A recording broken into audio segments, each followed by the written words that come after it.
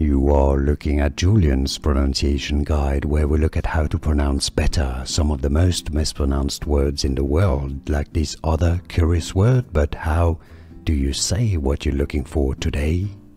We are looking at how to pronounce the name of Apple Macintosh operating system, Mac OS X, Mac OS X, Mac OS X macOS X.